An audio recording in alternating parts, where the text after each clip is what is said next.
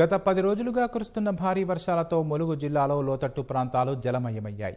రాబాంబ సరస్సు నిండుకుండలా మారి మూడు అడుగుల ఎత్తుతో మత్తడి పోస్తోంది. ములుగు మండలం జంగంపల్లి గ్రామ సమీపంలో మేడివాగు వద్ద వరద ఉధృతి కొనసాగుతుండడం వల్ల రాకపోకలు నిలిచిపోయాయి. గురువారం ఉదయం బండారుపల్లి గ్రామానికి చెందిన అల్లం శివాజీ కవిరాజు చేపల వేటకు వెళ్ళి గల్లంతయ్యారు. వారి కోసం పోలీసులు పడవల సహాయంతో వెతికితా ఆచూకీ దొరకలేదు. ములుగు జంగాలపల్లి ఇంచెర్ల పాలసబపల్లి రామయ్య తండా ప్రాంతాల్లో అధికారులు డ్రోన్ కెమెరాతో భారీ వర్షాలకు నీట మునిగిన పంట పొలాలను పరిశీలించారు. Claro.